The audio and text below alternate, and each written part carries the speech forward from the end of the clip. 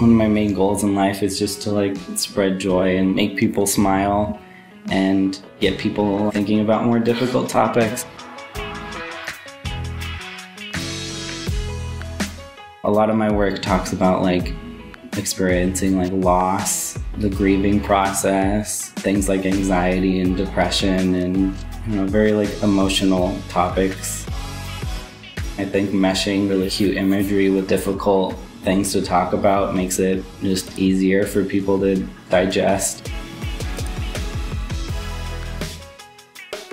And that's a lot of the reason that all my characters, well, most of them are animals instead of humans. Anyone can really relate to it because a goose can represent anyone. it's just really about simple shapes, flat colors, and cute aesthetics.